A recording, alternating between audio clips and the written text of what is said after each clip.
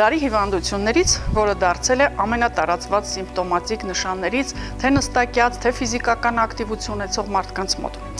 Ողնաշարի աճառային սկավառակների կամ դիսկերի խնդիրները այսօր բոլորիս են հայտնի։ Ամենաշատ տարածված են պարանոցային օստեոխոնդրոզը, հետո գոտկային եւ նաև կրծքային։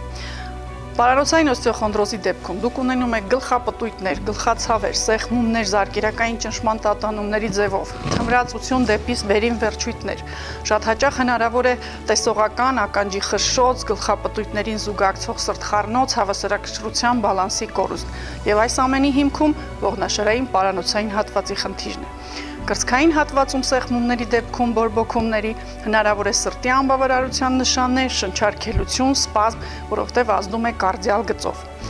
Առավել հաճախ հանդիպում ենք գոտկային ցավեր, գոտկային հատվածից ոտքերին խփող ռադիկուլիտ, նստաներվի բորբոքումներ,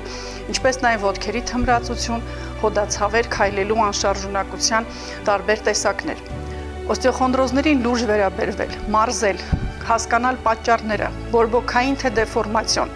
ինչ հիմքեր ունեն։ Այս ամենին մենք փորձենք մանրամասը տալ ինֆորմացիոն եւ ինչպես նաեւ հետազոտման մեթոդներ ու տալ բուժման համալիր կոմպլեքս ծրագրեր։